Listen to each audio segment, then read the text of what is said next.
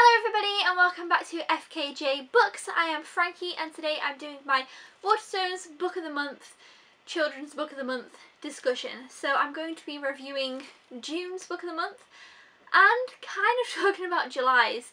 However, there's a little thing with July's but I will get to that. That's why this video is a little bit late because I was unsure how to go about July. You'll see when I get to July. But first of all, let's talk about June. So, June's Book of the Month was The Legend of Podkin One Ear. And a little bit, well, first I was a little bit hesitant for this one because it didn't really seem like something that I would typically pick up. But that's something else that I really enjoy about this challenge of reading every of the children's book of the month for Waterstones that I've decided to do this year. I thought it'd be fun, I thought it'd be different, I thought it'd be reading things that I wouldn't typically pick up. So, Podkin One Ear was one of those. It's about rabbits and they're kind of rabbits are the only thing in the world. I'm not sure what's happened to humans. I think it says in the beginning, but I'm not entirely sure. But you know, they're talking rabbits, they have little civilizations and all things. So it's rabbits and they talk and have thoughts and stuff. So I was a bit like, hmm, I don't know about this one, but it kind of was described as a mix of Watership Down and The Hobbit and things like that. And it definitely has those classic vibes to it. I definitely think one day this could be a classic. I really enjoyed this. It completely surprised me. Basically, it is the story of Podkin and his sister Paz and his little brother Pook. Pook? Pook? Is that his name? And they're so cute and this little adventure or these challenges that they have to face and it's been all been told by this bard I think that's what they were called it was the kind of storyteller rabbit who comes to this warren on Bramblemas Eve and it's super cute because it's like a story within a story type of thing and I loved the way that it was told. I loved the little intermissions when it would be back out of the kind of story that was being told and them discussing the story. I loved, I just really, really loved the story. I just thought it was so sweet and cute and I cannot wait for the sequel. There's going to be a sequel. I hope they'll make a bunch of these because it was just such a nice, cozy read. I think this is just a perfect winter read. I mean, you know, I read it in summer and I still really enjoyed it, but I think as a winter read, this is just perfect.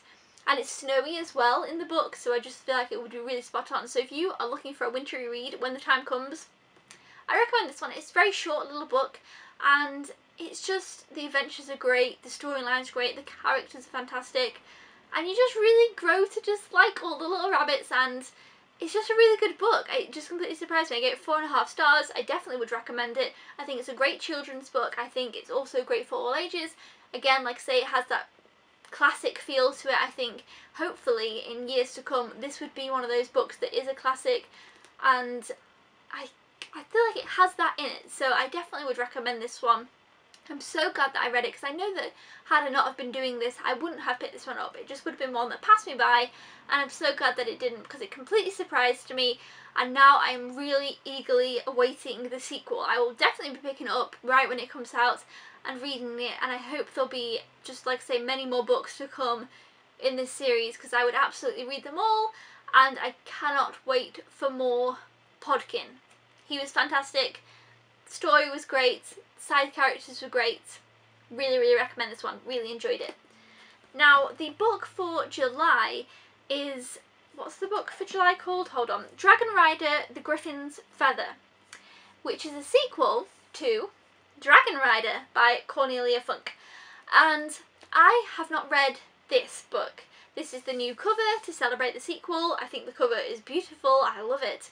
I hadn't read Dragon Rider, and Dragon Rider is, let's see, 422 pages. Now, of course, it's a children's book, or middle grade, you know, whatever. So it's not, you know, the words are pretty big, it's not going to take too long. However, I didn't know if I would have a chance to read this and the sequel in this month. So, for my July book, I'm going to go with Dragon Rider, and then hopefully by the end of the year I will also read its sequel, so when I do my final wrap-up of all the Waterstone Children's Book of the Months, I will be able to talk about the sequel. But for now, I will be reading this one and talking about this one when I do my July review, just because I wanted to make sure to read this one before the sequel. But yeah, the sequel came out this month, and that is actually the Waterstones Book of the Month, and not this one. But I'm going to go ahead and read this one because I like to do things in order and it just looks beautiful and I feel like I missed out not having read this story before. And of course Cornelia Funke wrote Inkheart which I also have not read actually so maybe it would encourage me to read those as well. But yeah visually this just looks beautiful. It's got dragons. I'm really really looking forward to it. I hope that I really enjoy this one. So that was June's book and kind of July's book. Let me know in the comments below if you have read Podkin One Ear and if not I would definitely recommend it even if you don't think that animal books are your type of thing. To be honest I like animal books, I feel like I should read more animal books and dragons, animals, so nice animal theme here and let me know if you've read Dragon Rider because this one's been out for years so you know you might have read it and I'd love to know your thoughts on it. So yeah until then I will see you next time, thank you for watching this video and I'll see you then, goodbye!